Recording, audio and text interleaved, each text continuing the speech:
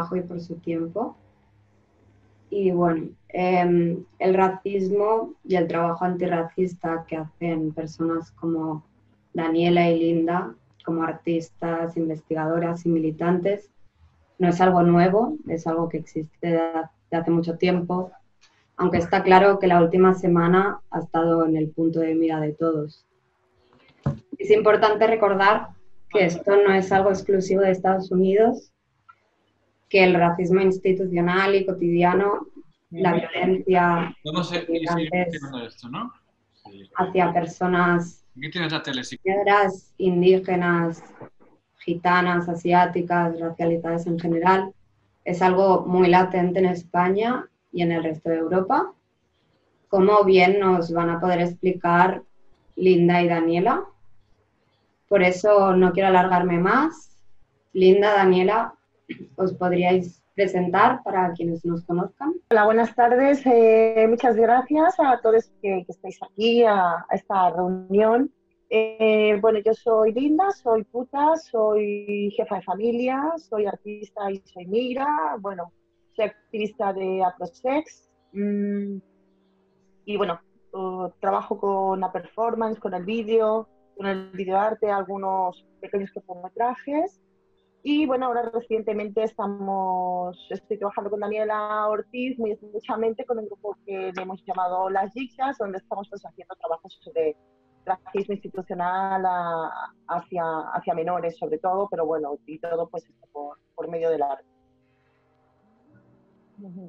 Bueno, yo, mi nombre es Daniel Ortiz, soy peruana y vivo hace 12 años en Barcelona y es a partir, digamos, de la experiencia que tuve con eh, la ley de extranjería y la oficina de extranjería que empecé a hacer un trabajo de analizar todos los mecanismos legales que utiliza la Unión Europea y los Estados miembros para ejercer violencia contra la población migrante. Es decir, no ver que esa violencia o lo que está pasando en Estados Unidos es producto de un error, una situación excepcional ni nada, sino que es el sistema funcionando y sobre todo un sistema legal funcionando, ¿no? Y, cómo la legalidad ha sido la herramienta por excelencia utilizada por el hombre blanco, ¿no? Y por la supremacía blanca para legitimar toda esa violencia, ¿no?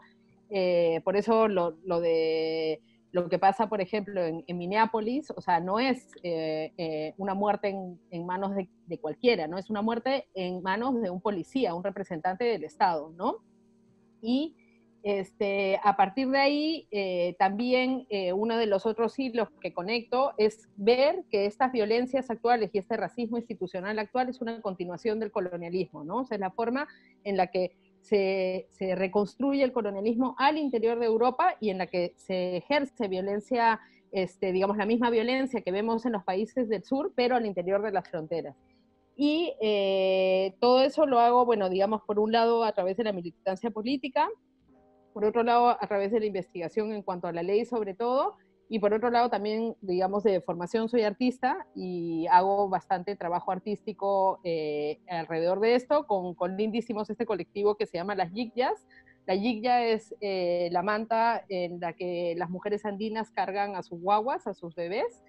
Y eh, básicamente nos centramos mucho, como explicaba Linda, en analizar, denunciar y explicar las violencias del racismo institucional, de la violencia patriarcal contra este, los menores migrantes y racializados y sobre todo una de las cosas en las que nos estamos centrando bastante en, explicar y, entender es eh, todos los mecanismos de quitas de custodia, ¿no? de o sea, arrebatar, de cómo las instituciones están arrebatando menores migrantes y racializados de sus casas, no porque hayan situaciones de violencia sexual, física o psicológica, sino con motivos racistas, machistas y clasistas, ¿no? Eh, mucho de vuestro trabajo radica de vuestras experiencias y las de otras compañeras migrantes. ¿Nos podéis hablar un poco de vuestra experiencia de migrar a España ¿Qué encontrasteis aquí que os cambió la imagen que teníais de, Europa? Eh, bueno, un poco, eh, bueno, todas las experiencias migratorias pues, son distintas, depende de, qué, en qué contextos vengas, de qué contexto vengas y todo esto. Yo, por ejemplo, como trabajadora sexual, eh, bueno, la experiencia, hoy precisamente estaba hablando con la televisión mexicana y me están preguntando sobre mi experiencia migratoria también, ¿no? Y estaban como muy sorprendidos desde la televisión de los procesos migratorios que tenemos que pasar aquí las personas mexicanas en Europa, ¿no? Eh, eh, la experiencia de migrar, o sea, yo creo, quiero como empezar igual que empecé esta mañana en México para decir que, bueno, o sea, ya la migración es como un tipo de violencia, ¿no? O sea, tú ya, cuando tú ya migras es porque no tienes derecho a vivir de, de donde tú eres, ¿no? ¿no? Donde has nacido, donde está tu contexto, ¿no? O sea, no, las personas que migramos no tenemos derecho a estar con nuestras familias, con nuestras abuelas, con nuestros tíos, con nuestros primos, con nuestras madres, ¿no? Ni con todo un entorno, ¿no? Yo creo que la primera ya violencia en la que te ves empujada a salir de tu lugar de origen por diversos temas, ¿no? Eh, por, pues por ejemplo, en México que hay una alta tasa de feminicidios o las mujeres trans, o, o simplemente por tener muchísimas cargas familiares. En el caso, por ejemplo, de muchas mujeres latinoamericanas, eh, muchas somos madres solteras eh, y no solamente tenemos hijos a cargo, sino también eh, mayores a cargo, ¿no? como pueden ser nuestras madres, nuestros padres, algún otro sobrino a cargo. Y esto es precisamente por, pues, por todo como una cultura de abandono de, de los padres y de los hombres en las que estamos muchas mujeres solas y empezamos a migrar. ¿no? Eh, otra de las, de las violencias así que sufres con la migración es que, por ejemplo, eh, las latinas eh, tenemos como un estatus de, de, putas en las que solamente venimos a trabajar en la industria del sexo, ¿no? Casi todas las latinas tenemos como esa, ese signo en la frente de puta, eh, que venimos a trabajar en la industria del sexo, denigrando lo que es el trabajo sexual, ¿no? Como si, o sea, al tratarnos como de analfabetas y que lo único que sabemos hacer es comer pollas. Luego ya lo que es toda la violencia que simplemente no puedes entrar, ¿no? O sea, es muy difícil entrar, ¿no? Eh, es muy difícil acceder a todo lo que se te pide para poder entrar en el caso de muchas trabajadoras sexuales latinoamericanas, pues bueno, hemos entrado con diferentes estrategias para, para poder saltarnos la ley de extranjería, ¿no? Es eh, pues pagar, pagar, pero bueno, todos los, casi todos los inmigrantes que no cumplimos con los requisitos legales tenemos que pagar, ¿no? Desde los mexicanos que entran a Estados Unidos hasta de 15.000 a 30.000 dólares, pues como las trabajadoras sexuales, podemos pagar esa, esa, cantidad pues para conseguir un permiso, una tarjeta, una, un permiso de residencia y de, y de estancia, y luego que te pongan en el club, ¿no? Y luego en el club, pues bueno, tú mientras, eh, pues como todas las personas, o sea, como todas las trabajadoras, tanto nativas, europeas y latinas, tenemos que pagar un 50% de nuestro trabajo. Y con ese, en ese 50% se incluye, tú vas pagando esa deuda, ¿no? Eh, entonces, bueno, tú vienes huyendo de una situación muy, en mi caso, no muy particular, pues de pobreza, de querer salir adelante, de cumplir, por ejemplo, yo tenía como muchísima ilusión de terminar aquí mi maestría y mi doctorado sobre arte, sobre arte, con esta idea también tan colonial de que el arte europeo es el mejor, ¿no? Y que está centralizado todo aquí, que, hay, que para ser artista hay que estudiar en Europa.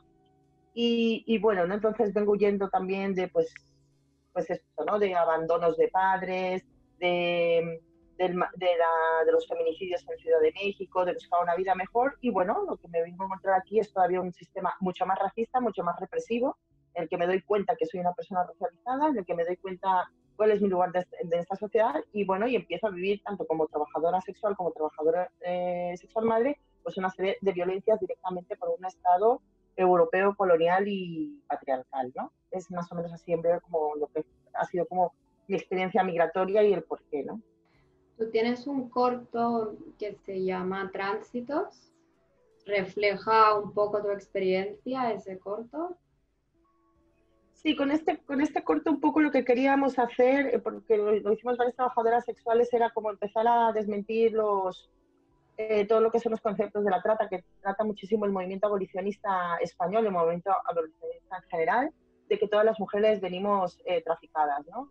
Creo que todas, en el, lo que es la industria del sexo, al menos de las personas que yo conozco desde Latinoamérica, lo que venimos son explotadas, precisamente por una ley de extranjería que no nos deja entrar una serie de requisitos que no podemos cumplir y porque venimos a trabajar en la industria del sexo. Entonces, en, en el corte de tránsito tratamos de evidenciar cómo es la entrada de dos personas, de una mujer cis, que soy yo, y de una mujer trans, que es, es otra trabajadora sexual migrante, Sabrina, y de cómo son los procesos que hacemos para entrar, ¿no? Ella, ella se liga con un hombre, ¿no? Con un chico blanco, cis, y es, eso es como ella puede entrar aquí, pero bueno, ella también es lo que os digo, ¿no? Se hace un trabajo, se hace un proyecto migratorio, se hace un viaje migratorio y cuando llegas aquí, pues todo ese, todo ese gran proyecto migratorio pues prácticamente se cae a pedazos, ¿no? Porque la fortaleza Europa pues es impenetrable y es, y es muy fuerte, ¿no? En el caso de Sabina pasa lo mismo, ¿no? Nadie quiere contratarla porque es una mujer trans y pues tiene que volver otra vez al trabajo sexual, ¿no?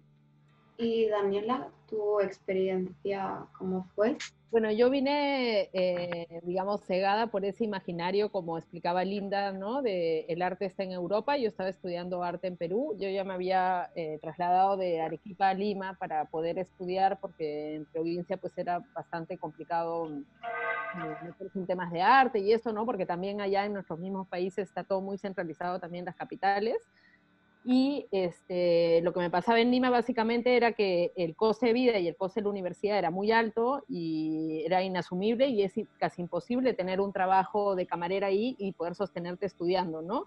Entonces, eh, yo hice el proceso migratorio en una situación bastante privilegiada, que es a través de eh, un visado estudiante, ¿no? Que aún y así es bien interesante en relación a lo que comenta Linda con el coste. Yo a quienes le pagué a la Universidad de Barcelona al Ministerio de Educación peruano, a la Universidad Católica de Perú, y me gasté como 1.500 dólares más o menos en poder, y eso claro, me tomó dos años, poder juntar el dinero, poder hacer todo el proceso, porque este, así sea que vengas con un contrato de trabajo como trabajadora doméstica, así sea que vengas como trabajadora sexual, que vengas en una patera, que vengas con un visado, hay toda una serie de agentes alrededor, siempre los agentes del poder europeo blanco, que te van a hacer pagar tu cuota para poder entrar, para poder cruzar, ¿no? Entonces a mí me tomó más o menos dos años hacer el visado, ahí empezaron ya como situaciones bastante violentas que yo en su momento no leía como tal, porque Europa tiene la capacidad de narrarse a sí misma como superior, y en esa narrativa de superioridad también se narra como no racista, ¿no? Siempre hay esta eh, narrativa de que, eh, por ejemplo, Latinoamérica es más racista que Europa o que los países árabes son más racistas que Europa. Nosotras no tenemos ningún problema en señalar, eh, explicar y luchar en contra del racismo en nuestros países de origen porque es una realidad y es verdad, porque el orden colonial permanece y tienes en Perú unas élites criollas blancas que son las que manejan el país, ¿no? Y una violencia contra la población quechua y aymara, por ejemplo, este, brutal, o contra la población mestiza, afrodescendiente, etcétera. Em, eh, pero, eh, pero eh, no es peor que acá, en el sentido de que creemos que también el racismo no se puede hacer una comparación de decir allá es peor que acá o allá, simplemente se articula de otra manera porque el racismo es un sistema global que necesita que funcione el racismo en sus modos en México, en sus modos en Perú y en sus modos en Estados Unidos y en sus modos en Europa, ¿no? Eso es un sistema... que es el, sistema colonial, que, que, se empieza a crear a partir de 1492, ¿no? Entonces, cuando estaba pidiendo el visado, por ejemplo, cosas que pasaron que fue brutal, pero que en su momento yo no las leía como, como tal, ¿no? Eh, que me pidiesen em, un examen de sangre eh, para ver si tenía sífilis y una radiografía en mis pulmones para ver si tenía tuberculosis para pedir un visado de estudiante, ¿no? Entonces yo me acuerdo haber estado desnuda en un centro médico que aparte te dicen a cuál tienes que ir y hay en concreto uno que se llama Reina Sofía, que es el que a donde te mandan a hacerte el, el examen, eh, que te lo manda la embajada, eh, y obviamente lo tienes que pagar y todo este tema, y que era súper violento. O sea, para poder entrar a Europa, a mí me tuvieron que sacar sangre y me tuve que desnudar ante un médico para que revisara mis pulmones. Hay países, por ejemplo, que piden exámenes de VIH, ¿no? O sea, con toda la carga de violencia que han tenido las compañeras, los compañeros, las compañeras con, con, con, VIH, que aparte para un visado te lo puedan denegar en base al, al tema del VIH, ¿no? Entonces, cuando llegué acá, obviamente todo es imaginario en relación este, a que Europa es un contexto donde no existe racismo, se cayó automáticamente, solamente ver las noticias eh, y la cantidad de muertos en las zonas de frontera, etcétera.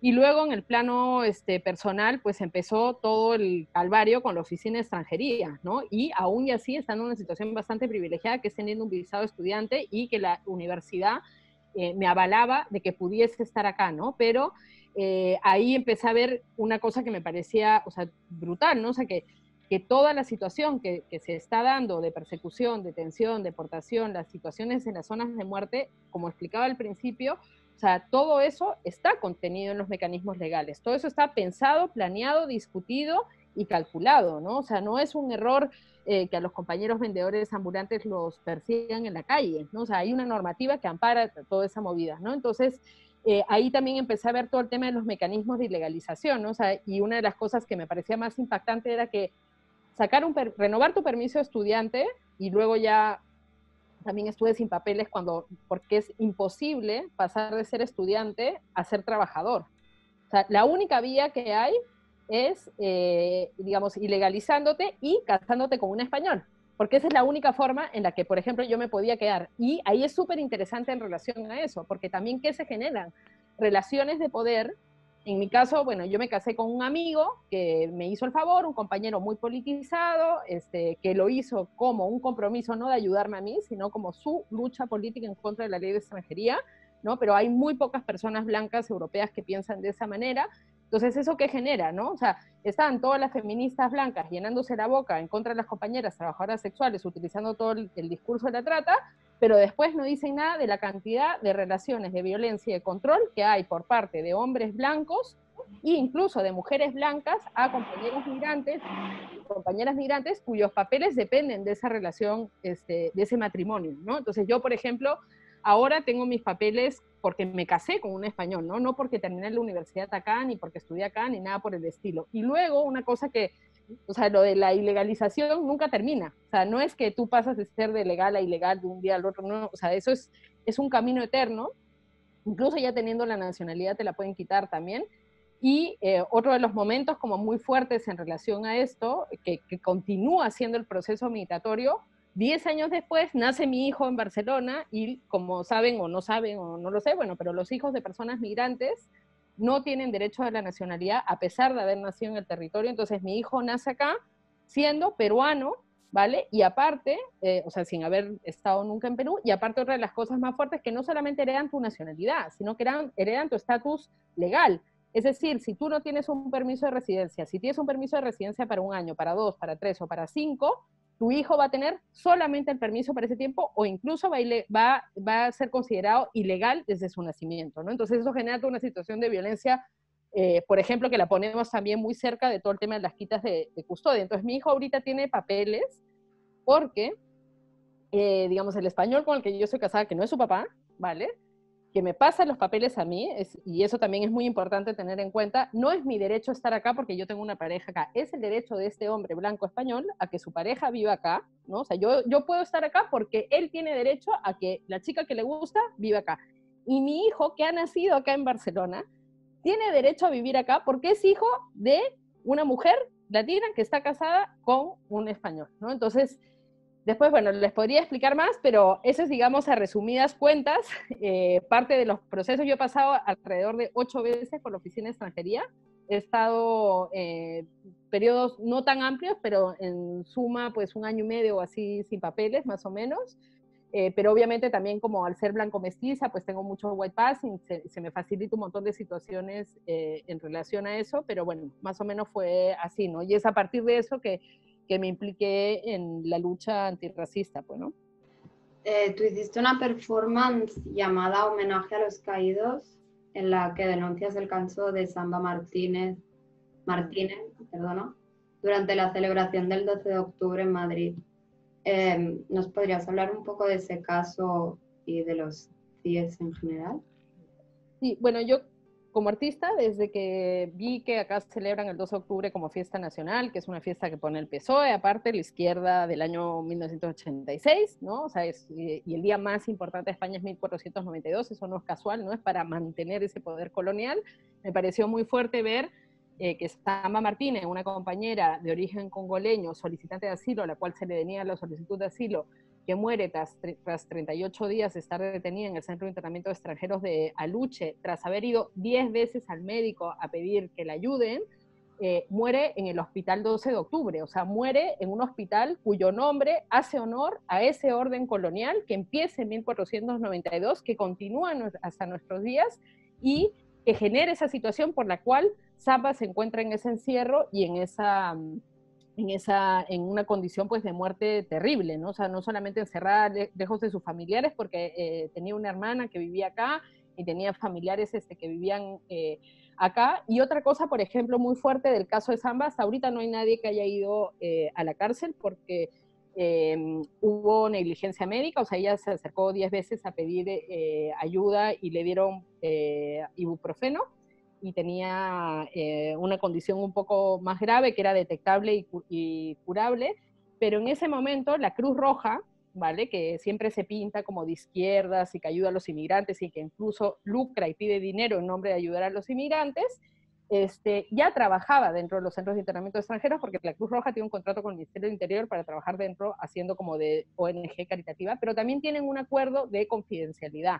La Cruz Roja estaba cuando murió Samba Martínez y la Cruz Roja durante cuatro o cinco años no ha dicho nunca nada de cómo, qué fue lo que pasó por ese acuerdo de confidencialidad y solamente ha abierto la boca cuando le llama a un juez, ¿no? Entonces, este, bueno, el caso de Samba es uno, digamos, de los tantos casos.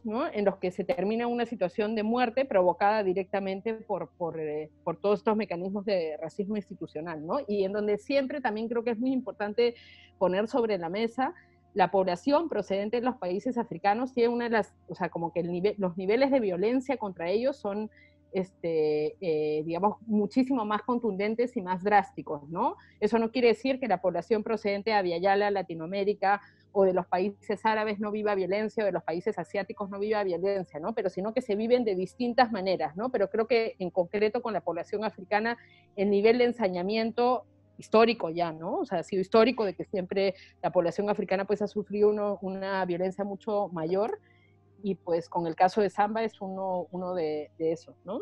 Eh, ayer hicisteis un directo de urgencia, también las dos, por un caso de un niño que se suicidó en un centro de menores. Em, sé que las dos estáis trabajando en investigación sobre esto y que Linda, tú llevas tiempo investigando este tipo de, casos de quita de custodias eh, que has encontrado en tus investigaciones? Bueno, también es como, bueno, yo creo que también en el, o sea, ya un poco así como refiriéndome a los hechos artísticos que estamos haciendo Daniel y yo juntas, que bueno, que nuestro trabajo es muy parecido al siempre estar como, ¿no? haciendo denuncias políticas y sociales muy concretas sobre el racismo, sobre violencia institucional, sobre racismo, colonialismo institucional, eh, este, o sea, este trabajo que estamos haciendo sobre los niños eh, tiene que ver, pues bueno, eh, a, nivel, a nivel artístico es muy interesante que de repente se manejen este tipo de cosas porque al parece ser, pues siempre el arte tiene que dar como un buen gusto a todo, ¿no? O sea, el arte tiene que tener un buen gusto, el arte no tiene que tener algo que incomode a nadie, ¿no? O sea, como que tiene que, que gustar, ¿no? De alguna otra manera. Y bueno, lo que y, bueno, también una de las cosas que identifica, creo, y ahora me junto así como con Daniela, no sé si, no te, si te moleste, compañera, pero es que tenemos unas vivencias personales en las que se reflejan en el arte, ¿no? Y yo creo que ese es como ¿no? el punch de nuestras piezas, ¿no? Entonces, bueno, lo que es lo, la violencia menores me afecta a mí directamente y, y, y, de repente abro los ojos, ¿no? Puedo abrir los ojos y empiezo a ver que le afecta a un montón de mujeres, ¿no? ¿Qué es lo que pasa con protección de menores, ¿no? Bueno, protección de menores eh, es una institución, eh, el Estado ejerce su poder ah, por medio de las instituciones, o sea, Protección es una institución, no es una obra de caridad, no son gente buena que se dedica a ayudar a los demás, sino una institución que se dedica a mm, gestionar el dinero que el Estado destina para, las, para los niños pobres, ¿no? prácticamente. Eh, que de, de, todas estas investigaciones, pues hay, mucho, hay muchas autoridades eclesiásticas desde el principio, hay un control de la pobreza, hay una criminalización de la pobreza total, hay un control de la pobreza, eh, sobre todo porque la pobreza puede dar lugar pues, eh, a la anarquía, a la rebelión, a prácticas distintas de, por ejemplo, una sociedad burguesa eh, normativa y sana, ¿no? en, teoría se más desviaciones. O sea, yo he escuchado de muchos abogados y abogadas decir que, que los pobres son más criminales, por ejemplo, ¿no? Como también se decía de las mujeres, que las mujeres por naturaleza éramos más lascivas, por ejemplo, ¿no? Entonces son como paralelismos que he encontrado. Y bueno, la eh, protección de menores es una institución por excelencia patriarcal, porque es la institución que se dedica a sacar a los niños de sus casas y criminalizar a sus progenitores, ¿no? Que en este caso la mayoría pues somos madres, ¿no? Porque la mayoría de, de, casos que hay de, de, que los niños se los lleven y los encierren, pues son em, madres solteras o familias migrantes, ¿no? O familias racializadas. Eh, también lo que pienso y lo que he aprendido en, esto, en este tiempo que llevo viendo todos estos casos es que eh, también hay una, una ruptura, una continuidad, por ejemplo, en el caso de las trabajadoras sexuales o en el caso de las madres solteras, donde la, la figura eh, patriarcal no existe, Y, eh, y claro, los niños, eh, hay una transmisión en el que solamente estamos las madres, o por ejemplo en el caso mío, hay una transmisión de valores como trabajadora sexual donde mis, mis hijos pueden ver que, bueno, nosotros no nos provee ningún macho, no nos educa ningún macho, ni nos ordena ningún macho, ¿no? Es un, se puede decir que hacemos como ciertos matriarcados, ¿no? Que yo creo que eso también a protección, a protección de menores le, le pone nervioso y por eso corta estas transmisiones, ¿no? Corta las transmisiones de las familias migrantes, corta las transmisiones y bueno, caso, eh, un caso que vivisteis aquí en este país ha sido el del robo de los niños de los rojos, ¿no? Es, es, es evidentemente como una, el cortar una transmisión de un conocimiento muy específico, ¿no? Y después al cortar este conocimiento a los niños, entonces se les vuelve a reeducar en la, en la sumisión, en la sumisión por medio del encerramiento y, y, por medio de la fuerza. ¿no? Eh, los niños que asumen esto, que son la mayoría, porque tienen miedo de, de, seguir encerrados, porque tienen miedo de que ellos encierren a sus hijos cuando ellos sean mayores, asumen esta sumisión y consiguen como ahí, como su, consiguen como el plan, ¿no? de, de, de, ese corte de transmisión de valores en el que se eh, forman a seres pues, sumisos que acepten todas las reglas del Estado, que no tengan una visión crítica y que no cuestionen la realidad en general. ¿no? Y luego hay, otro, hay, otro, hay, otro, hay otros niños que se rebelan ante esto. ¿No?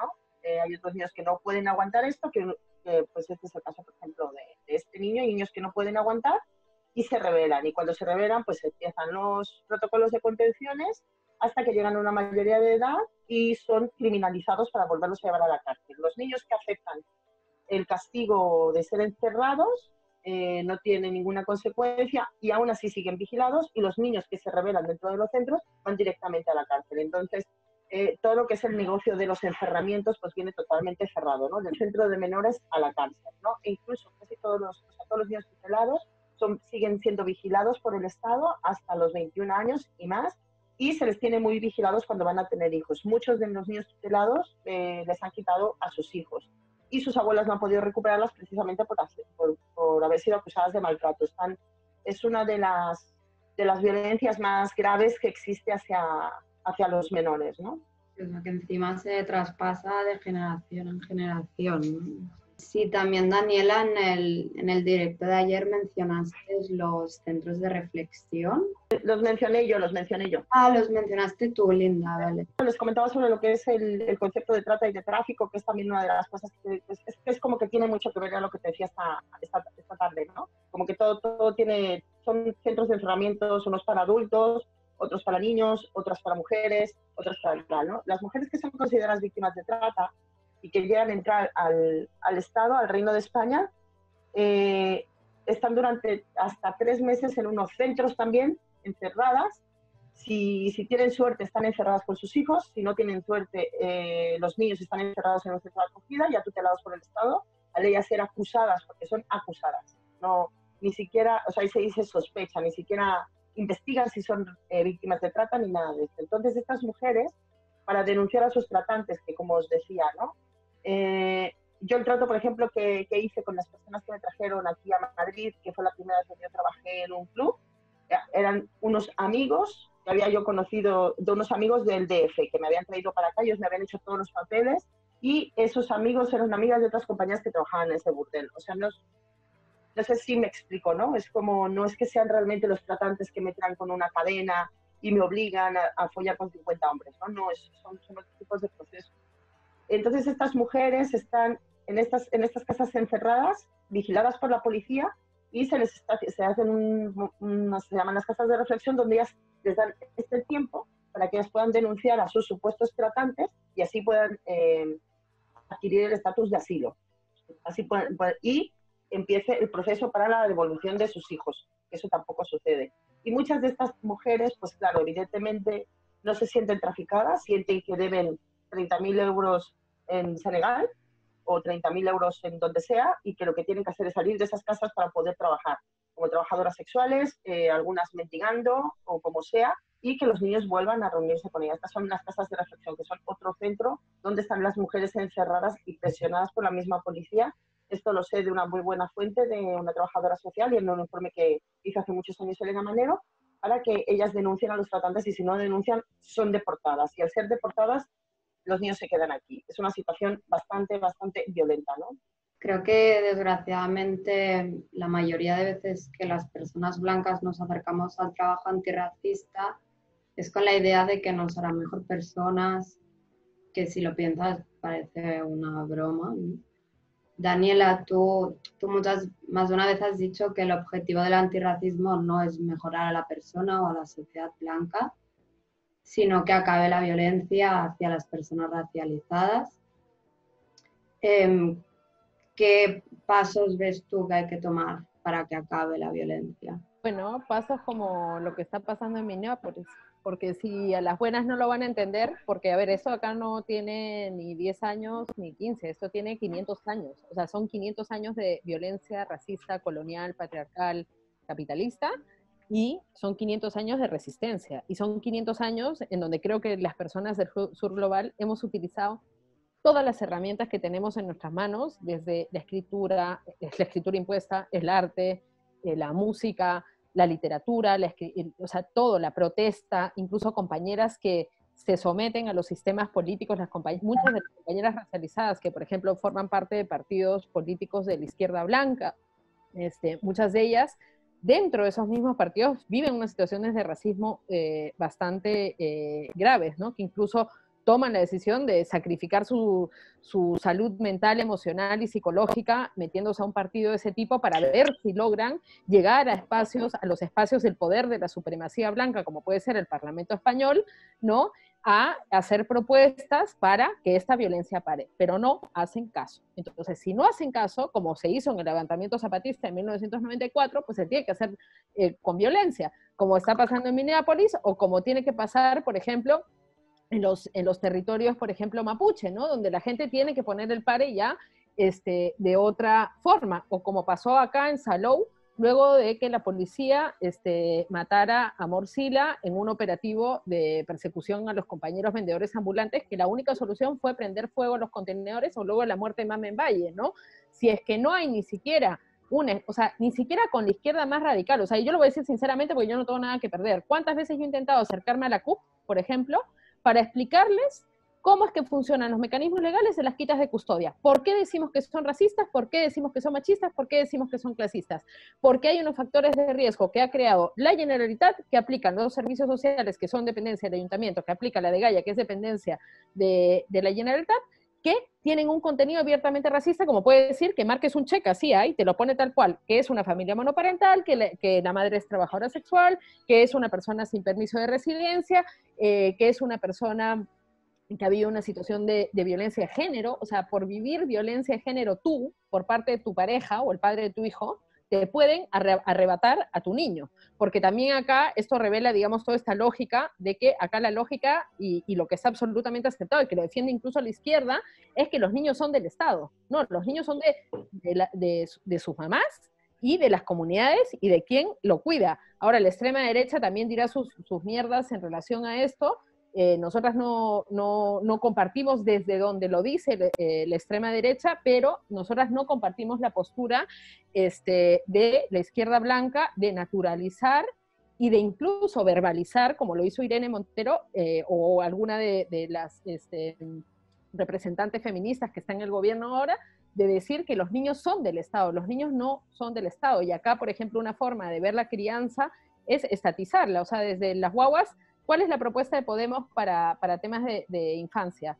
Que los niños vayan desde los cero a los cuatro meses a la guardería. O sea, perdón, pero para las personas que venimos del sur global, eso es violencia contra los niños. Separar a un niño de su madre, o sea, si no te queda otra y lo quieres hacer tú o lo que sea, me parece bien, pero como una política, como una respuesta política a nivel de perspectiva, el separar eh, a los ni bien nacido a un niño de su madre para que la madre pueda ir a trabajar y que el niño sea criado por el Estado, este, pues nosotras no, em, eh, no, no, lo vemos, ¿no? Pero volviendo, por ejemplo, al, tema de, de, de, lo que me preguntabas, ¿no? O sea, de, cómo se puede implicar, entiendo, ¿no? La gente blanca en, en todos estos procesos de lucha. Bueno, lo primero, eso que, que siempre explicamos, que eh, la lucha antirracista no es para que Europa sea mejor, no es para que sea una mejor sociedad, no es para que los europeos sean mejores personas, porque muchas veces la gente te dice, ay, sí, estoy reconociendo mis privilegios, yo voy a ser mejor, ¿no? En esta lógica de superación personal y todo no nos interesa para nada.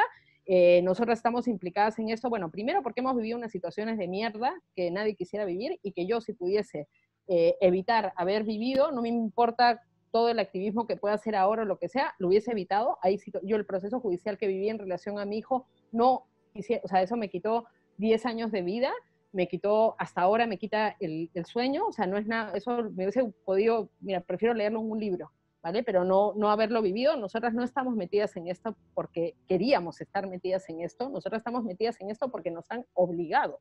Y porque si yo me callo la boca en relación a este tema, la violencia va a ser aún peor, ¿no?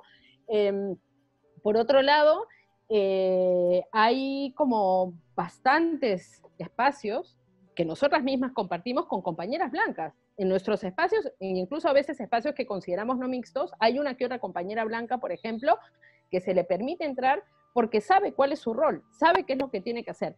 Desde saber que individualmente una cosa que puedes hacer es casarte, no como un favor y caridad para una persona migrante y tal, sino como tu implicación en la lucha antirracista, hasta compañeras que, por ejemplo, con la red de cuidados antirracistas que estaba haciendo repartos de alimentos, eh, que bueno, que continúa haciendo repartos de alimentos, cuando había que ir a dejar los alimentos a las casas, las compañeras blancas que estaban implicadas, ya sean las latinas con white passing o las compañeras, y, con papeles obviamente, o las compañeras euroblancas con pasaporte, eh, lo que hacían era el trabajo del reparto. ¿Por qué? Porque su presencia en el espacio público no iba a generar la misma violencia de la policía que si iba una compañera racializada, por más permiso, autorización que tenga, no le iban a poner una multa como le pasó a nuestras compañeras blancas, porque eh, hay 60 mil euros de multa a la red de cuidados antirracistas Em, por haber estado en el espacio eh, público, porque eran compañeras blancas. Si eran compañeras racializadas, eso iba a terminar en golpes y en detención, automáticamente sin mediar palabras, ¿no? Entonces ahí es ni, ni, ni, hacerse las culpas, ni el trabajo de los privilegios. Yo me he trabajado mis privilegios. O sea, a mí no me interesa, ni a nosotras no nos interesa cómo se siente la gente blanca en relación a sus privilegios. Yo también tengo privilegio racial con respecto a muchas compañeras y lo, cómo yo me sienta en relación a eso es lo menos importante, sino es a nivel de organización política, yo estoy parada acá, yo puedo salir a la calle hoy día para llevar esta bolsa, pues se lleva esta bolsa, ¿no? Yo estoy haciendo esto, este es el espacio donde tengo que callar, este es el espacio que tengo que ocupar, sin culpa, sin movida, sin teatro, sin nada, ¿no? O sea, en el sentido práctico de la movida, ¿no? O sea, si cuando nosotros hablamos de, señalar el privilegio, no es para ese discurso psicoemocional, sino es para decir, eh, por ejemplo, que dónde comienza el señalamiento del privilegio. En el contexto norteamericano, con las compañeras ah, afroamericanas y latinas, que le dicen a las mujeres blancas de la segunda ola feminista, ustedes no pueden tener la delantera de ese tema y ese feminismo que ustedes están diciendo no nos representa porque ustedes tienen una situación de privilegio racial que les hace experimentar el patriarcado de una forma diferente a la nuestra. Entonces, ahí es donde se señala el privilegio, para decir, mira, tú desde el espacio donde tú estás no entiendes lo que, lo que, lo que yo estoy viviendo, ¿no? Porque este, tienes un privilegio racial que el sistema no te hace ir por la oficina de extranjería, por ejemplo. Entonces, tú nunca vas a entender lo que supone hacer un proceso de los papeles. No solamente en el sentido emocional y psicológico, sino en el sentido práctico y legal. O sea, nosotras tenemos cerebro y capacidad crítica. Y entonces, por eso es que nosotras, o sea, también reclamamos como que se nos considere eh, sujeto político. O sea, ¿cuántos años la izquierda blanca viene este, no solamente ignorando lo que decimos, sino boicoteando el trabajo que, eh, que hacemos, ¿no? Porque este, bueno, yo, yo creo porque directamente amenaza eh, su lugar de, de, privilegio, ¿no? Y cuando digo su lugar de privilegio, digo su poder económico, sus trabajos, eh, sus 14 pagas al año, sus vacaciones en los países del sur global, todo eso que consideran que son derechos laborales, que no es más que mierda de privilegio racial. O sea, eso, es lo, eso, no, eso no son derechos laborales. O sea, irte de vacaciones cada año a Tailandia, el otro año a Perú, este, tener 14 pagas, o sea, perdón, o sea, no, no sé en qué mundo viven realmente, ¿no? Porque eh, si uno va a cualquier contexto del sur global, solamente la élite vive ah, así, ¿no? En esos niveles, que también es bien interesante, por ejemplo, que por eso también a veces nos cuesta mucho. Yo muchas veces veo que las formas de vida y eh, la situación económica de lo que acá se llama como, digamos, clase media, es la élite en Perú, ¿no? O sea, es lo que se consideraría la élite allá, ¿no? Entonces, es muy difícil a veces como poder, este, digamos, poder organizarnos y por eso es que muchas veces creamos espacios no mixtos. ¿Por qué? Porque si no, nos tenemos que desgastar 500 años eh, tratando de explicarles una cosa que no es que no entiendan porque son tontos o porque no tienen información, es que no lo quieren entender porque no quieren tomar la responsabilidad de luchar en contra de algo que les genera un privilegio. ¿Y ahí qué implica? Que vas a tener que trabajar más. Es así de simple. O sea, ahí qué implica cuando uno eh, lucha en contra de aquello que lo beneficia, pues, mi hija, se van a tener que despertar más temprano, van a tener que andar más estresados, van a tener que tener menos dinero y van a tener que tener una calidad de vida menos acomodada, ¿no? Como el resto de la, de la población. Y esa es la responsabilidad que no quieren tomar, ¿no? Creo. Eh, sí, sobre, pues esto, lo que decía un poco Dani sobre el privilegio, sobre todo en el, en el feminismo, porque creo que, bueno, eh, supongo que aquí hay como un contexto feminista también, ¿no? Lo que decía respecto a lo que pasó en Estados Unidos y lo que está pasando aquí, ¿no? Eh, de cómo se considera un feminismo único. O sea, yo recuerdo en un chat que teníamos eh, precisamente con, con, otras mujeres por lo de las citas de custodia, efectivamente había muchas trabajadoras sociales eh, que me decían, es que Linda, gracias a nosotras, tú eres una mujer libre, ¿no? Y eso es como de esta prepotencia de la supremacía blanca, de creer de que el feminismo es copyright, ¿no? De, del feminismo blanco es, es, es muy loco, ¿no? Porque el feminismo pues siempre ha existido en todas las sociedades, en todas las sociedades ha existido. Una cosa es de que, bueno, ha sido aplastado, ha sido olvidado y ha sido borrado, pero bueno, el feminismo, no sé, a mí el feminismo, por ejemplo, me lo enseñó mi madre, ¿no? A mí no me lo enseñó Simone de Beauvoir. Entonces hay que tener como en cuenta todas estas experiencias, ¿no? De, de, respecto al feminismo blanco, ¿no? Y sobre todo este privilegio, ¿no? De creer que por ir a una universidad eh, tienes la eres legitimada para hablar, ¿no? Que, porque las personas que venimos del sur global no estamos legitimadas para hablar porque, porque no hemos ido a una universidad o porque no hemos estudiado, ¿no? Eso, eso no te hace más lista la universidad, ¿no? Ni te hace menos inteligente, ¿no? Simplemente te estás preparando para, para trabajar, ¿no? Sobre todo el feminismo blanco abolicionista y el feminismo blanco estas de las trabajadoras sociales, ¿no? En las que van con esa superioridad ante nosotras, ¿no? Ayer tuve, ayer tuve una, no, me había dado cuenta porque tengo mucho curro con la familia y tal, y estábamos señalando el caso del niño colombiano y me dijo que yo lo que tenía que hacer, que ella, sabía de su trabajo, que yo lo que sabía era de, de mamadas, de operaciones. Este, este, esta autoridad que tienen para hablarnos de esa manera, ¿no? Para deslegitimizarnos por ser, por ser, eh, por ser latinas, ¿no? Por ser latina, en mi caso una mujer muy racializada. Y yo creo que todo eso se tiene que, ver en el caso también de las putas, ¿no? Con el abolicionismo, ¿no? De cómo todo el tiempo está tomando la palabra y todo el tiempo está diciendo lo que nosotros tenemos que pensar y hacer, ¿no? Eh, el privilegio, o sea, por ejemplo, yo, para mí, así como a, a onda y a rápido, como el, privilegio blanco en este momento sería eh, empezar a enfrentarse, por ejemplo, al, movimiento abolicionista, que está totalmente eh, institucionalizado. O sea, tanto Irene Montero le han prohibido decir trabajadora sexual en sus, en sus contextos, no puede decir trabajadora sexual. Las ayudas que se van a sacar van a ser en contextos de prostitución y en contextos de trata cuando ninguna de las trabajadoras sexuales hemos cotizado en ninguna de nuestras vidas, te tienes que dedicar a víctimas de trata. Ya os dije lo que esto significa, ¿no? Significa una serie de violaciones de derechos humanos. O ni los gobiernos más progresistas pueden hacerlo. Hace poco también me decía la Gabriela Leite, ella fue a un congreso internacional de la ONU y le dijeron, ¿cómo te presento? Y dijo, ya, como puta. Y dijo, no, no, es que en este congreso no podemos decir puta. Entonces era como decir, ¿no? Estas realidades que vivimos, tanto hasta, ¿no? Las burguesas blancas, ¿no? Contra nosotras, las putas o las, las las migrantes, ¿no?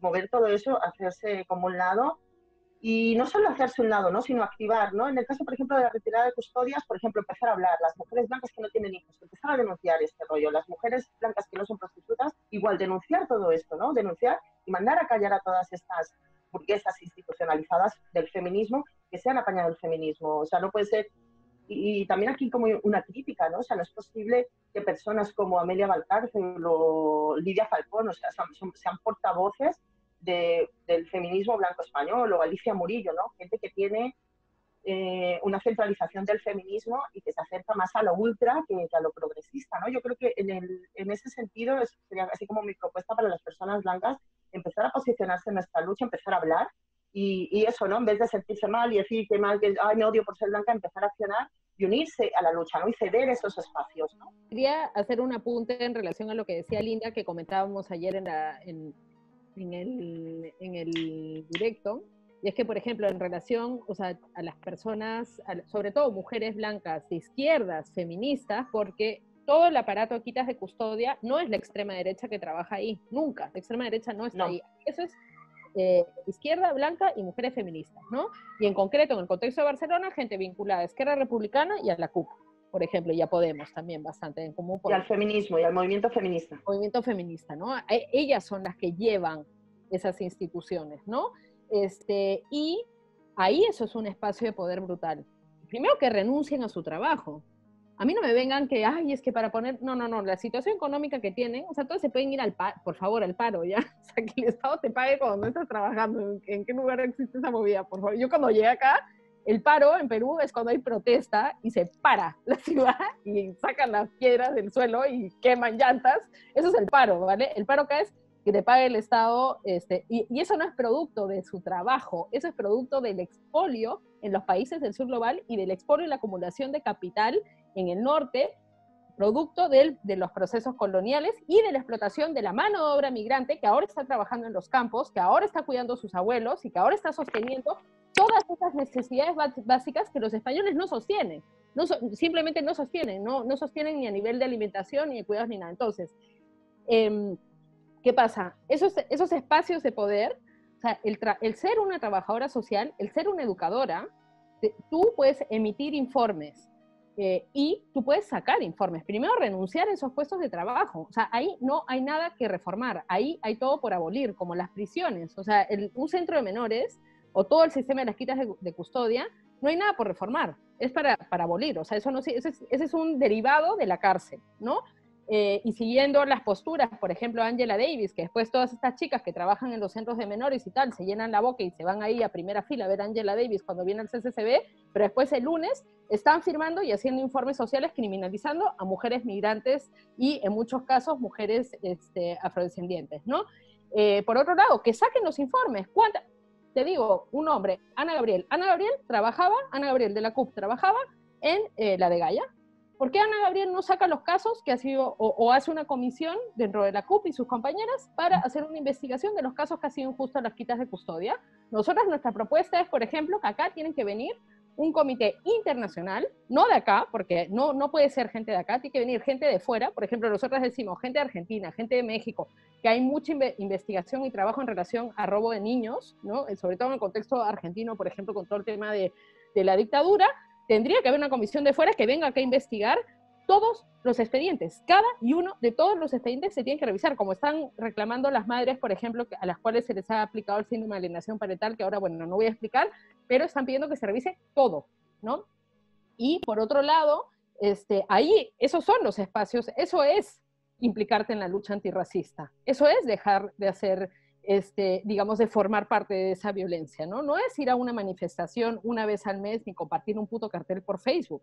Es renunciar a tu trabajo cuando tu trabajo está generando esa violencia. Yo hay muchos espacios de poder a los que como blanco mestiza en el contexto peruano he podido acceder y he decidido renunciar. Por ejemplo, uno de ellos era para mí una posibilidad quedarme ahí, tener mis hijos, explotar a una mujer indígena para que me sirviera y yo tener una vida mucho más eh, relajada y yo tomé la decisión de que no voy a reproducir esa violencia patriarcal, racista, colonial contra otra mujer para yo tener, para mejorar yo mi calidad de vida. Y está, y me cago, y ya, pues si tengo que cuidar a mi hijo 24/7, si hay cosas que no puedo hacer, pues me friego, pero esa es mi decisión política y mi compromiso en, en relación a ese tema, ¿no? Entonces, por otro lado, toda esa, una cosa bien interesante que pasa acá, un, un discursito que tiene la clase media blanca acá, es que el racismo es un problema de ignorancia que tienen los pobres blancos, que no están bien educados, ¿no? Y entonces, ¿qué hacen? Aparte hacen una operación clasista de cargarle la responsabilidad del racismo a la gente, a su gente pobre, ¿vale? Que su gente pobre son los que sí conviven con nosotros, ¿vale? Los que conviven codo a codo con los que nos follamos, si nos follamos con algún blanco, no nos follamos con la clase media, nos follamos con la clase, eh, con la clase baja. Eh, con los que tenemos relaciones en los colegios y todo es con esa gente.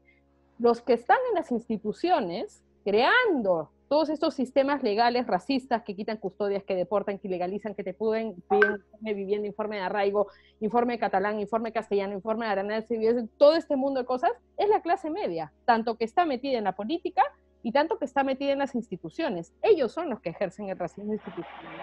Y ahí, simplemente para nosotros es renunciar, ¿no? O sea, yo he podido quizás trabajar, por ejemplo, en algún no sé, espacio en la embajada peruana que tengan que ver con deportaciones y que me paguen 2.000 euros al mes por ser una cómplice de todo eso y decirte, uy, no, es que tengo un hijo. No, o sea, ya, pues me busco los frijoles de otra forma, ¿no? Em, bueno, a mí ahora me gustaría abrir a preguntas al resto de la gente, por si os gustaría preguntarles algo a Daniela o a Linda. Hola, eh, ¿qué tal?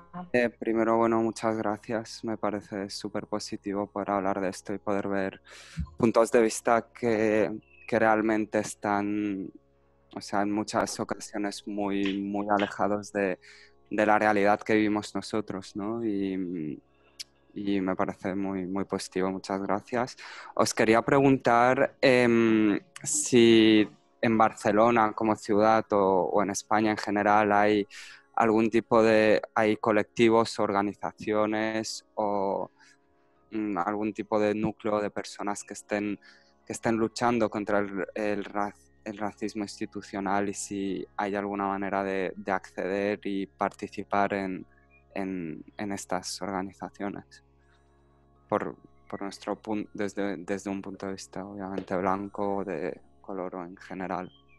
por ejemplo, la, red de cuidados antirracistas, que puedes ir hasta cargar cajas para poner la comida y no sé qué y tal, y es una red que la forma en la que reparte, o sea, por ejemplo, acá, cuando hay caridad, o sea, por ejemplo, Caritas, ¿vale? O las iglesias que reparten alimentos, están obligadas a que la gente tenga que ir primero a servicios sociales para que las deriven ahí. O sea, tú no puedes ir directamente, directamente a Caritas y que o sea, tú tienes que estar avalado por los servicios sociales. ¿Qué quiere decir eso? Que si vas a los servicios sociales, eres madre soltera, migrante y tal, y dices, no tengo plata para la comida, lo que va a pasar es que por ahí te dicen, bueno, puedes ir a Caritas, pero también te van a abrir un expediente que puede dar pie a eso. Entonces, para nosotros es muy importante la organización autónoma para sostener todos los espacios de la vida. Para nosotros es muy difícil implicarnos en la lucha antirracista si es que no podemos sostener la comida, la crianza, el cuidado tal. Y mientras más lejos estemos del Estado y de las instituciones europeas en relación a eso, pues mejor, ¿no? Entonces hay, por ejemplo, la red de cuidados antirracistas que, está, que se puede ir hasta eso, a cargar cajas, como se puede aportar dinero, por ejemplo, que es una cosa que nosotros decimos directamente. Hay muchísimos colectivos que están este, pidiendo apoyo económico, desde eh, mujeres migrantes diversas, por ejemplo. TikTok también tiene una cuenta de apoyo. TikTok es un espacio eh, interesante, es un espacio antirracista, transfeminista, que em, aglutina también a muchos otros colectivos que trabajan este, cerca. También es un espacio donde se hace mucho trabajo eh, a nivel político, o sea, mucho trabajo de debate, charlas, eh, documentales, etcétera, pero también es un punto, por ejemplo, de acopio para, eh, para el tema de la alimentación en este tiempo. Después hay este, un montón de colectivos este, afrofeministas, por ejemplo. no sé, te, te, tendría que pasar una lista así inmensa. colectivo de asiáticas también, por ejemplo, hay está Sin Hogar, el colectivo, el Sindicato de Trabajadoras Domésticas, está este, el, Sindicato Popular de Vendedores Ambulantes, está este, otras, el Sindicato de Trabajadoras Sexuales, también comandado por mujeres este, eh, migrantes, eh, después, en el contexto de Madrid, por ejemplo, está AYU, que es un, proyecto más, digamos, eh, en el ámbito de la cultura, pero que hace mucho trabajo de base. También han hecho eh, acopio de alimentos y este, también han hecho, han juntado dinero en la situación actual, pero también hay gente pues, que lleva el POPS, el programa de prácticas subalternas, que de pronto, pues ahí te viene, no sé, Julia Butelia, Ochi Juliel, Linda Porn, Daniel Ortiz. Yuderquis Espinosa, o sea, un programa de estudios eh, antirracistas de nivelón, ¿no? Al cual este, formar parte de eso también es una forma de apoyar a ellas, porque obviamente eh, eh, para nosotras hay beca, pero para ustedes no. Entonces, este, también hay formas de hacerlo así. Después hay espacios como la usurpada, por ejemplo, la nueva usurpada en Gracia, que también es un ocupa migrante, Casa África, también en, en Barcelona, que es un otro espacio, este, también que es una ocupación y que también, bueno, ahorita con la pandemia, pues eh, todo ha cambiado más a sostener concretamente las, necesidades básicas, pero todos estos colectivos eh, vienen haciendo mucho trabajo este, eh, político y de pensamiento también, ¿no? O sea, no de pensamiento en el sentido universitario, académico y esas formas de escribir una tesis y todas esas cosas, sino en el sentido de pensar qué herramientas epistemológicas necesitamos para entender el momento actual del racismo, ¿qué palabra, qué significa la izquierda cuando dice derechos humanos? ¿Qué, quiere decir cuando está? Porque todo el día hablan de derechos humanos. ¿Qué quiere decir? Los derechos de los, de los racializados, porque la izquierda, los blancos sí tienen derechos cívicos y políticos. Nosotros nomás derechos humanos, a que no te maten, porque la media en relación a la población migrante, cuando ya se considera violencia, es que tiene que haber un muerto. Tú fíjate, cuando, cuando se habla de cuestiones de racismo, tiene que haber un muerto por medio. ¿Qué es lo que está pasando con lo de Minneapolis? Tenía que haber un muerto por medio y, y tenía que haber un video en donde se vea, ¡ay! Ese sería agua fría. ah, mira, llevan el paquete al pollito, llevan al pollito afuera. Y este, eh, por ejemplo, ¿no? O sea, no solamente era que tenía que haber un muerto, tenía que haber un video en donde se veía el momento de la muerte, ¿vale? Porque es, a esos niveles de violencia se necesita la sociedad que ha formado la supremacía blanca para reaccionar ante esto. O sea, fíjense con las muertes en las zonas de frontera. Para que escandalicen, tendría que haber más muertos de los que hubo en Lampedusa.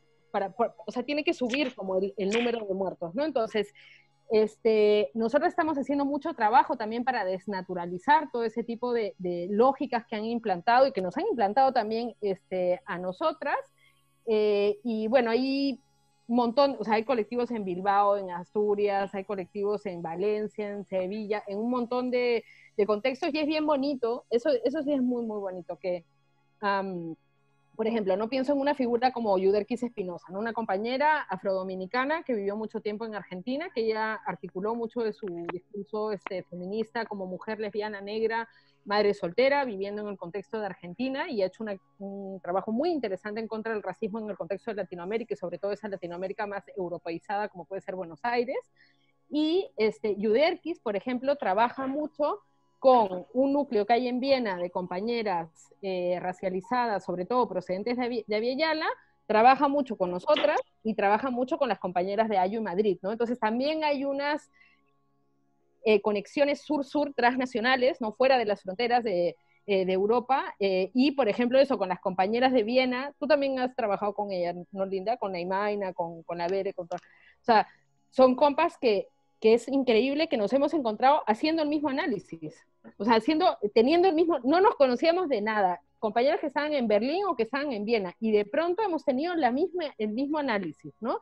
Y este, eso también es muy interesante de ver como que hay eh, relaciones mucha, increíbles, pues de pronto, no sé, la lucha que hay en el Cauca con las, con las compas de Kurdistán, así, ¿ah? Y, de que se están trabajando eh, juntas, ¿no? Entonces, bueno, en el contexto de Barcelona ahí hay eh, bastantes eh, eh, espacios, páginas y cosas. Después, si quieren, les podemos pasar una lista de, Eso estaría, yo creo que mucha gente de aquí lo agradecería esa lista. Sí, porque ahí, bueno, todos tienen perfil de Facebook, Twitter, Instagram y tal, y ahí te puedes ir enterando tanto. Ah, y una cosa, por ejemplo, un, un momento que pueden acercarse es el día 7, el domingo a las 11, hay convocatoria en la Plaza San Jaume eh, que es una convocatoria de la comunidad afrodescendiente, porque han habido varias convocatorias que todo bien, pero pues eran convocatorias blancas que no habían invitado a los compas afrodescendientes a la, manifestación, o sea, ya todo chévere ir a ponerte ahí al frente de la, de la embajada norteamericana, pero si hay colectivos afrodescendientes acá antirracistas, ¿por qué no los llaman? ¿Por qué solamente cuentan con ellos mismos, no? Entonces el domingo hay una convocatoria, digamos, de los colectivos afrodescendientes a las eh, a las 11 en Plaza San Jaume. Quería decir algo respecto a la pregunta que ha hecho el compañero, el compañero eh, eh, respecto a lo que es el conocimiento. Nosotras, Cali y yo, Cali Sudra, que es otra compañera trabajadora sexual de origen de hindú, dimos un curso este martes 2 de junio que fue el Día de la Trabajadora Sexual y bueno, había un poco de polémica porque había un problema con los dineros, ¿no? En el que, pues bueno, no les parecía que tenían que pagar por el curso y tal, y no, y bueno, pues yo me puse, pues... ¿Cuánto era? ¿Cuánto era que había que pagar? Eran seis euros. Para que la pena... Eran seis euros, o sea, dos chelas.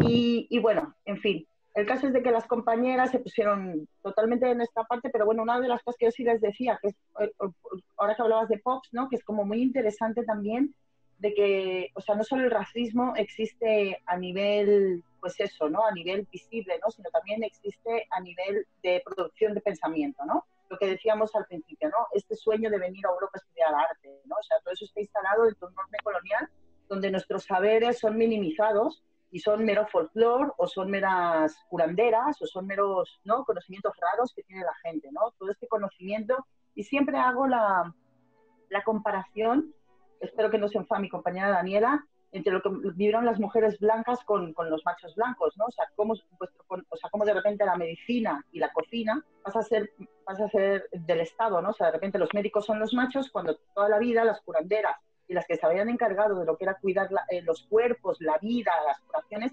eran las mujeres y que hicieron, pues las quemaron, ¿no? O sea, todo este proceso. Entonces, este traslado igual al racismo, ¿no? O sea, también todo nuestro conocimiento fue totalmente reemplazado por las, el pensamiento supremacista blanca, que es el que se enseña en las universidades y, y es el que se enseña, ¿no? Entonces, este tipo de saberes, pues son saberes preciosos, son saberes de mucho valor, lo que nosotros estamos ahora produciendo, que no es un no es algo que estemos produciendo ahora, sino que esto tiene muchísimos años que se tiene produciendo y nosotros estamos como tomando esas riendas de, de, de, pues, la conquista, ¿no? De pues, autores como Juan Poma, Bernardas de, de las Casas, o sea, gente que ha escrito y, y, conocimientos de allá, es interesante que también ustedes los pudieran, los pudieran tener y leer para que realmente puedan comprender, ¿no? Lo que, lo que, lo que es esta transformación social en la que estamos envueltas, ¿no? porque igual al tú venir de una universidad blanca, de un contexto blanco y tal, no entiendes muy bien qué es lo que está pasando. O sea, es que no tienes ni siquiera las bases, eh, pues ese de, conocimiento, de producción de pensamiento para, para verlo, ¿no? Entonces, es también, eso también os invito a eso, ¿no? Como que a que nos leáis, a que nos sigáis, a que sigáis todo esto y aprender y no solamente eh, validar el conocimiento de la universidad eurocéntrica o gringa, ¿no? Y en eso un apunte así cortito es que es muy importante lo que dice eh, Linda, porque, por ejemplo, traduciéndolo a, lo práctico, ¿no? Nosotras decimos nuestra disputa con la izquierda blanca no es de yo tengo razón, yo sé más, o no, no, es que las herramientas que tienen, que han hecho, que han utilizado para luchar contra el racismo, no funcionan. O sea, no, simple y llanamente no funcionan. Y nosotras estamos viendo al sur del sur. O sea, nosotras a donde vemos, por ejemplo, es no sé, las compañeras zapatistas en, en el contexto de Chiapas, que han logrado liberar un territorio. Sea, que ya no estamos hablando de que han logrado poner una universidad, no, han logrado un territorio autónomo donde el ejército, la policía y el Estado no entran. Es así de simple, ¿no? O en el contexto de Perú, las luchas en contra de las mineras, ¿no? O sea, que es en contra del poder del Estado y en contra del poder capitalista, ¿no? O sea, y donde logran territorios liberados que también son mentes liberadas y formas de vida liberadas, ¿no? Que no es solamente este, la tierra en sí, sino es la capacidad de vivir mentalmente en, otro, en, otro, en otro territorio, en otro lugar, ¿no? A mí me impacta mucho acá, por ejemplo, una cosa que conversamos siempre con Linda, como acá, el, la semilla capitalista, ¿no? O sea, como el, el, tener, por ejemplo, que sacarle provecho a todo, ¿no? O sea, como está tan metido, así como, o sea, la, la forma de entender el mundo, la espiritualidad que tienen acá, la forma de entender todo es es, es, bastante dura y bastante este, contundente. Y nosotras hemos, hemos sido criadas y hemos crecido en un otro contexto, muy diferente, en una forma de entender incluso el tiempo, o sea, todo, entender la sexualidad, entender el tiempo, entender el placer, entender este, la comida, entender todo de, una, otra, de una otra manera que, que pues, que, que, no sé, bajo mi perspectiva es un poquito menos eh, violenta, ¿no? Gracias, Daniela y Linda. Em, ¿Hay alguna pregunta más? Dar las gracias simplemente por la labor emocional de explicarnos todo esto. Yo soy española y, y, de verdad admiro mucho eh, el esfuerzo emocional que habéis tenido en, en, tener que explicarnos todo esto. También a veces libera un poco. Vale. Menos mal. Hay que decirlo, hay que decirlo. A, a, veces, a veces viene bien pegar. La mayoría de las veces. metí un par de gritos así, en público. Yo os quería preguntar una, una cosa más, también es muy interesante vuestra experiencia, también porque la vivís mucho desde el mundo del arte, ¿no? Y desde vuestro trabajo artístico. Y, y creo que la mayoría de gente que está en, en esta talk también tiene una labor creativa o de alguna manera artística. También nosotros al final pues creamos un festival en el que también intentamos defender eh, ciertos valores Y, y también os quería preguntar eh, en cuanto a esto, o sea, desde vuestra experiencia como artistas y eh, como consejo hacia otros artistas, ¿cómo, ¿cómo, creéis que podemos, especialmente en este, en este espacio, ¿no? en esta, al final también industria, en esta, como, como, como lo queramos llamar, cómo, cómo podemos defender más em, temáticas así en general? Yo creo que, pues eso, primero eh, hay una cosa que, que, sucede prácticamente, ¿no? Y que es de que, pues no vemos artistas racializados, eh, ¿no? En las exposiciones ni dentro. Y no es simplemente porque querramos estar ahí o necesitemos estar en una exposición o necesitemos estar en un museo, ¿no? Eh, lo primero es trabajar y lo segundo es exactamente, ¿no? Estar otra vez construyendo un discurso no sea el único discurso eurocéntrico del arte, ¿no? En el que todo, pues es esto, es blanco o feminista con mujeres blancas, ¿no? Porque de repente dices, tenemos que incluir a más mujeres en nuestras, ¿no? En, en la siguiente exposición tenemos el compromiso de incluir a más mujeres artistas. ¿Qué mujeres artistas, no? Me pregunto yo, ¿no? Entonces, bueno, lo que, lo que está bien es de repente incluir más, eh, más personas que trabajemos en el arte racializadas, por ejemplo, eh, Mm, incluir más, mm, pues eso, meter en, lo que es la nómina a más personas ocultas que hacen arte, porque hay mm, millones de personas que están haciendo arte racializadas, pero las temáticas, pues eso, o no concuerdan con las políticas de los museos o no concuerdan con las políticas de los espacios, y yo creo que esa es una, esa es una buena forma, ¿no? Como que apoyar a estos, estos artistas, pero a nivel no, yo te apoyo con el, con el, con el posteo, ¿no? Te posteo por Facebook, por Twitter o por Instagram, ¿no? así empezar a incluir pues, pues todo, todo, a un montón de artistas racializados, ¿no? Tanto eh, ciseteros como trans, como, como todo, ¿no? O sea, que la peña racializada empiece a tener una, una voz pero es lo que te digo, no solamente por, por, una cuestión de ego, ¿no? sino para tener, empezar a tener una representación también ante nuestras comunidades. ¿no? Hay una frase que me gusta muchísimo de Spike Lee, que dice que cuando él iba al cine nunca veía que los negros se besaran, que los negros se amaran, que los negros sintieran algo. Y entonces dice que por eso empezó a hacer películas. Entonces es un poco como que yo les dejo, ¿no? a mí me gustaría ya que mis nietos y mis hijas vieran las, representaciones y vieran lo que somos y pudieran tener una base para poder seguir viviendo, porque lo único que tenemos es lo blanco, ¿no? Yo creo que por ahí es un, es un buen trabajo y bueno, yo creo que también en ese sentido es una de las motivaciones que Daniel y yo tenemos como artistas, ¿no? Crear otros contenidos y crear otros imaginarios, ¿no? Que sean, que no tengan que ser tan blancos y tan rígidos, ¿no? Y tan eurocéntricos.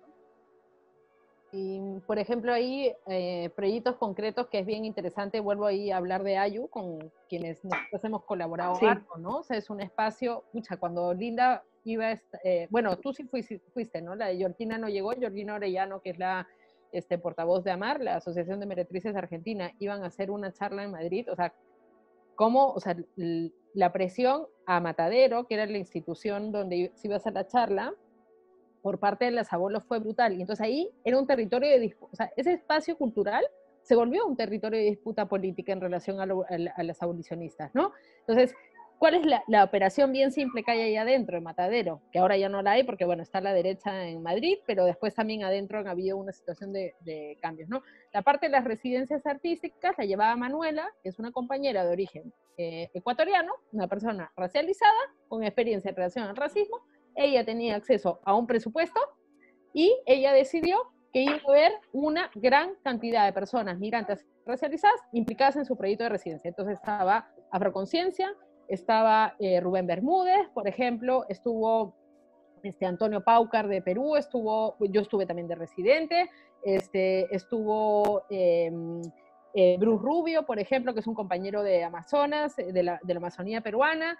Este, y bueno, les puedo dar una lista inmensa de artistas, tanto del contexto español como que viven fuera, este, migrantes racializadas de los sures, eh, a los cuales se les dio un presupuesto, un espacio y unas condiciones de trabajo que siempre han sido para personas blancas europeas, ¿no? Entonces, por un lado eso, y Manuel era, no era de yo te voy a dejar que representes acá durante una hora tu cosa yo controlándote. No, era, aquí está la plata y aquí están las llaves de, del espacio de residencias. Que eso es lo que necesitamos también, porque a veces, muchas veces, te dan espacio, pero te dan espacio tutelado. ¿no? Controlado, ¿no? O sea, lo que queremos es también tener, poder tener autonomía para poder trabajar, ¿no? Entonces, eh, por ejemplo, y ahí que se, que se, una cosa preciosa que se gesta es Ayu, ¿no? O sea, Ayu y el POPS, y que Ayu no es solamente eh, el programa eh, pedagógico anticolonial, no solamente las exposiciones y las piezas de arte, Ayu también es un espacio que las compañeras transracializadas, cuando salimos el sábado en la noche en Madrid, que es una ciudad fascista, a más no decir, y es inseguro estar en la calle, ¿a dónde podemos ir a tomar cerveza? A Ayu, que está dentro del matadero. ¿Por qué? Porque tenemos las putas llaves. Es así de simple. ¿Y eso qué crea? Comunidad. Y eso es hacer cultura. Hacer cultura no es hacer exposiciones en museos con, con, paredes blancas. O sea, yo trabajo en museos con paredes blancas porque me pagan y porque prefiero sacar mi plata de ahí que estar haciendo este, otra cosa, pero esa no es, eh, digamos, mi, yo siempre digo, es diferente hacer arte a hacer exposiciones, ¿no? Nuestra motivación para hacer arte, y también creo que en el trabajo de Linda y el mío es bien visible que nuestro arte puede existir sin el museo, que esa es otra cosa que les disputa este, un montón, ¿no? Que, y que incluso nuestro trabajo circula mucho más fuera del museo, ¿no? O sea, tiene circulación por espacios este, y por contextos que nos interesa eh, mucho más, ¿no? Pero lo que no tenemos son los medios económicos y por eso terminamos eh, trabajando con, los museos porque este, tenemos un alquiler que pagar, pues también, ¿no? Y lo tratamos de hacer de la manera más este, digna que se pueda, que es trabajando ahí con, por lo menos de artista, ¿no? Eh, bueno, pues si no hay más preguntas, muchísimas gracias Daniela y Linda por compartir vuestro tiempo y vuestro trabajo eh, no sé si queréis añadir algo más antes de despedirnos. Eh, bueno, debido, debido a lo que pasó este lunes, que fue la muerte de este niño colombiano, ¿no? Hablando, estamos en la semana del antirracismo, creo que es muy grave lo que sucedió el lunes. lo que sucedió fue efectivamente las praxis que utiliza el sistema de protección de menores patriarcal, colonial y racista eh, este niño pidió salir muchas veces, este niño lo llevaron a 90 kilómetros de la casa de su abuela, que era la que lo cuidaba, precisamente para separarlos con el COVID. No se podían ver, este niño vivió en infierno. Eh, estoy en contra de todos los centros de encerramiento y más estoy en contra de los centros de encerramiento para niños, porque eso me parece lo más, lo más grave que pueda suceder. Y, y, yo desde aquí sí, sí os pido, si realmente como blancas y como blancos que vais a ser, vais a ser aliados de, de nosotras, yo creo que este es, un buen momento porque hace poco decía Daniela que cuántos, cuántos muertos hacen falta ¿no? para, que, para que todo esto pase. Yo creo que este es el muerto que, que, ha hecho falta para lo que es denunciar todo lo que son los trabajadores sociales, las quitas de custodia y el sistema de, de protección de menores en el Reino Español contra, contra niños migrantes. Eh, todo lo que sufren estos niños no se ha reparado. Todo esto es un tema que yo así pido desde aquí, que ya tiene que ocupar el feminismo, ya tiene que estar en la agenda del feminismo. Es increíble que el que los niños se los encierren y se los quiten a sus madres y las criminalicen no haya sido nunca un tema del feminismo, me parece increíble. Y creo que sé por qué es, porque hay mucha gente que está trabajando ahí, ¿vale? Hay mucha gente del feminismo que está trabajando ahí con su complejo de salvadora blanca, con todo este complejo de querer ayudar a los niños y lo único que está haciendo es jodiendo familias, jodiendo niños, jodiendo a la gente, ¿no? Eh, muchos niños, como os digo, son criminalizados, terminan en la cárcel o terminan medicalizados de por vida, terminan criminalizados de por vida. Y bueno, pues solamente como que quiero dejar esto para que si lo queréis analizar. Y bueno, que ha sido como un suceso como súper grave lo que ha sucedido y, y bueno, sus padres ni siquiera sabemos dónde están todavía. Eh, ni siquiera sabemos realmente en qué condiciones murió ese niño, si fue asesinado, si se suicidó. Yo creo que este, yo creo que este es el muerto del que habla Daniela, ¿no? Yo creo que este es el muerto que hacía falta para realmente empezar a denunciar todo lo que está pasando en protección. Acá nosotras no creemos que hay términos medios con este tema, o sea, es abolición de ese sistema, como nosotras creemos en la abolición de la ley de extranjería y la abolición de la prisión, por ejemplo, creemos también en la en la abolición de sistema de protección de menores y cuando nos preguntan, pero ¿qué pasa con los menores que necesitan protección? ¿no? Que esa es una cosa que siempre hay rumbo en el cerebro, ¿no? Eh, muchos menores que han necesitado protección, de hecho el documental este Desamparats de TV3, que lo pueden encontrar eh, online, eh, que si TV3 dice eso, imagínense cuál es la realidad, comienza con una menor diciendo, yo era una menor que necesitaba protección, y lo que me pasó en el centro fue vivir una peor violencia, pero estando tutelada, ¿no? Esos centros, por ejemplo, en los casos de denuncias de abuso sexual, ese sistema de la DEGAI en los casos de, abuso sexual, como en el caso María, por ejemplo, una compañera uruguaya que hizo resistencia y se encerró en el consulado para evitar entregar a su hija al abusador, ¿vale? Al cual las instituciones nunca investigaron, sino le investigaron a ella acusándole del síndrome de alienación parental y estar loca y de inventarse todo el tema este para alejar a su hija del padre. O sea, eso no puede ser que, se quede así, no es simplemente porque lo, que nos van a decir ahora es, bueno, vamos a cambiar la normativa, si lo sigamos, si continuamos con eso, ¿no? Vamos a cambiar la normativa y que ya no te pueden quitar tu hija por ser madre soltera, ¿vale? Nos vamos a gastar cinco años peleándonos con esa institución de mierda para que quiten el factor de riesgo de madre soltera o de trabajadora sexual o de, o de migrante, ¿vale? Pero el aparato va a seguir funcionando y va a buscar su nueva fórmula para ir a la madre soltera y arrebatarle el hijo bajo otra, este, bajo otra eh, excusa, ¿no? Entonces, en ese sentido, eh, eh, ahora ya voy a hilo con el tema de qué pasa con los niños que necesitan protección, ¿no? En ese sentido nosotros creemos en la abolición porque no sirve ni para protegerlos, ¿no? Como en el caso de María con lo del abuso, no sirvieron para, para protegerlos, fueron los psicólogos de la de Gaya que fueron al consulado a arrebatar a esa niña de su madre y dársela a una persona acusada de abuso sexual que nunca fue investigada. Y solamente el 4% de expedientes abiertos en el registro unificado de maltrato infantil son por abusos sexuales, como si la pederastia no existiera en España. Y la pederastia existe. ¿Y qué, son, qué es el resto de casos? Son los 400 expedientes que las compañeras están pidiendo que se revisen en Barcelona, en donde eh, eh, la UFAM, que es la unidad de, detección de, abuso sexual infantil del Hospital San Joan de Deu, han habido más de 300 casos en donde ha dicho que ahí las madres son locas y se están inventando todo esto. Entonces nunca llegan ni siquiera a ser investigadas. Y ahí no entra protección del menor. Cuando un blanco en la casa, así esté violando, así esté pegando a los niños, así esté maltratando psicológico o emocionalmente, nunca entran. Como Linda siempre explica, o tantas compañeras explican, en, cuando vas a la de Gaia, nunca están hombres blancos en la de Gaia, están mujeres eh, racializadas, familias racializadas o madres este, solteras. Eh, madres solteras blancas, ¿no? Entonces, ahí hay todo un entramado de gente que tiene responsabilidades, de niños que tienen que volver a sus hogares y que tiene que haber un proceso de justicia y de reparación. O sea, no es solamente que pare esta maquinaria de violencia, sino que los responsables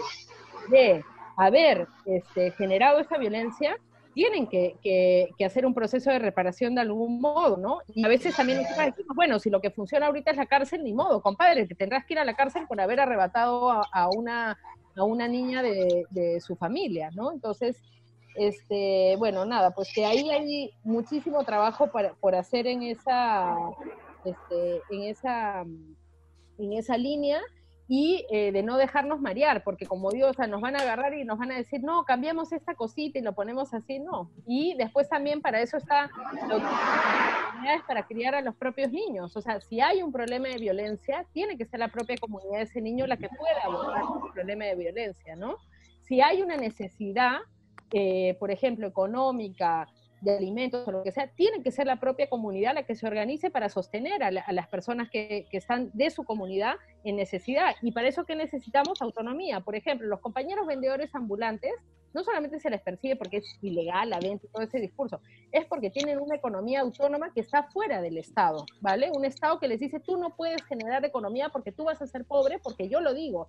Por eso se les persigue, porque están desobedeciendo a ese espacio que se les ha dicho. Entonces, nosotras creemos en que como esa autonomía económica tiene que pasar ahí, como hay la autonomía, por ejemplo, en las compañeras zapatistas, la gestión, el cuidado de la familia y de los niños tiene que ser autónoma y tiene que ser comunitaria, ¿no? O sea, tiene que ser cuando hay una situación de maltrato, cuando hay una situación de violencia, porque existe el maltrato y existe la violencia y existen problemas dentro de la familia, ¿vale? Ahí no tiene que entrar el Estado y la policía y la trabajadora social que ni siquiera conocen esos niños. O sea, imagínate lo que es para un niño, que imagínate que está viviendo una situación de maltrato, que lo arrancan de esa casa y lo mandan a un centro, porque al que castigan, como dice siempre Linda, es al niño, no a la mamá.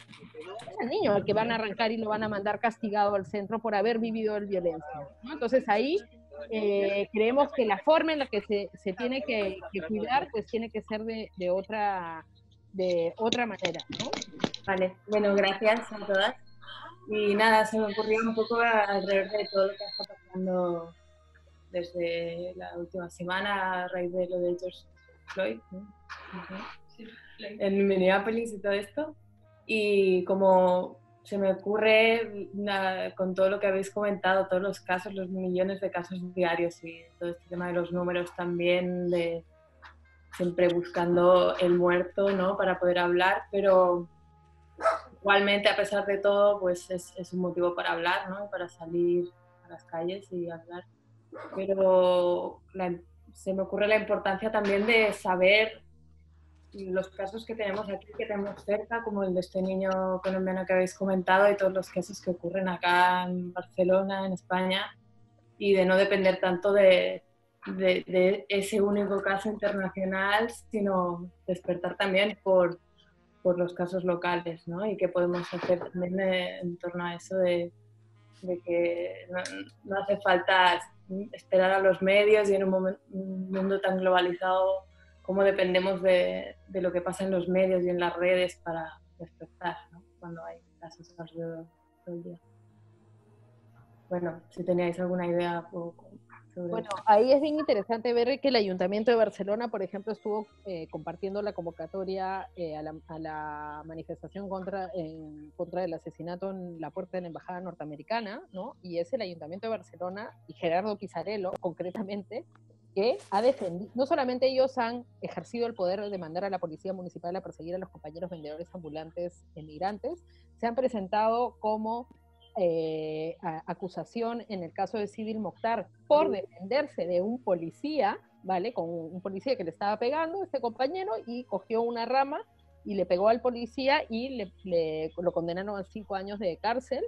Fueron acusación también en el caso de la detención de los compañeros vendedores ambulantes, en donde estaba eh, la Minesar, que es el portavoz del Sindicato Popular de Vendedores Ambulantes, y que eso fue un, juicio político, porque ni bien formado el Sindicato Popular de Vendedores Ambulantes, se aparece la Policía Municipal y los Mossos Escuadra en un operativo en contra de la venta ambulante con acusación del Ayuntamiento y la Generalitat a detener a quién y lo sacaron en primera plana del periódico a la Minesar el portavoz. O sea, con la cantidad de manteros que hay en Barcelona, justo esta semana, ¿a quién se detiene? Es a él. Eso era un caso político. Ahora, esos no son presos políticos, ¿no? Porque los presos políticos son blancos y catalanes, pero no son este, compañeros negros que tienen una persecución muchísimo más este, dura, ¿no? Entonces, ahí hay que tener mucho cuidado. O sea, por, por un lado, yo digo, toda la solidaridad y el apoyo a la lucha que se está dando en Estados Unidos, todo el fuego para encender lo mismo acá, pero no permitiendo que la izquierda blanca local alce la bandera del antirracismo en nombre de lo que pasa en otro contexto, cuando acá lo que están haciendo es explícitamente, siendo ellos el policía que mató a Floyd en el contexto norteamericano, mandando ellos a matar, esculpando a la policía eh, municipal de acá, protegiendo a la policía municipal de acá. ¿Por qué? No es solamente que ay, no se dan cuenta de lo que están haciendo, el ayuntamiento es perfectamente consciente que lo que está haciendo es generar impunidad para poder seguir ejerciendo ese racismo. Por ejemplo, ¿Quiénes quitan eh, las custodias? También los servicios sociales. ¿De quién, son, ¿De quién son los servicios sociales? Competencia del ayuntamiento, ¿no? ¿Quién manda la policía? El, ayuntamiento también. Entonces, si ellos sacan la bandera del antirracismo y se llenan la boca con lo de Estados Unidos, ¿no? Y empiezan a hablar y no sé qué, eso les da impunidad para la hora que le van a mandar la policía acá. Porque ¿cómo la izquierda va, va a ser racista? Se han tenido como el monopolio supuestamente del antirracismo este, siempre, ¿no? Entonces hay que salir, apoyar, ir a todas las manifestaciones que haga falta, pero no permitir de que hayan organizaciones políticas y personas blancas que utilicen estratégicamente el antirracismo de otros contextos, ¿no? O que señalen el racismo, como me pasa a mí muchas veces. Estás hablando de todo esto y te sale ahí un blanco y te dice, ay, pero en Perú también hay racismo, ¿ah? Y, ¿no? y es como, sí, ya sé, y también estaba luchando ya contra eso y a mí casi me meten dos años a la cárcel por haber hecho un trabajo sobre la clase alta peruana.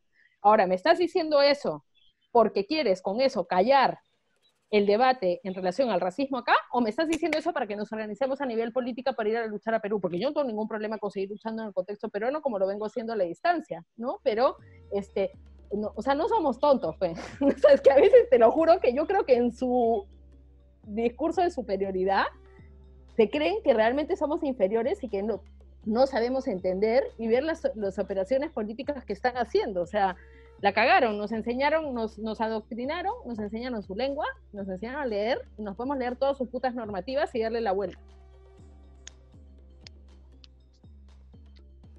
Gracias, Daniela. Em, bueno, pues es otra vez, muchas gracias. Y, bueno, ha sido increíble escucharos. Y creo que yo y todos los que estamos aquí presentes agradecemos mucho que hayáis estado aquí y que hayáis hablado de todo, de todo esto que está tan ligado no solo a vuestro trabajo, pero a vuestra experiencia personal también.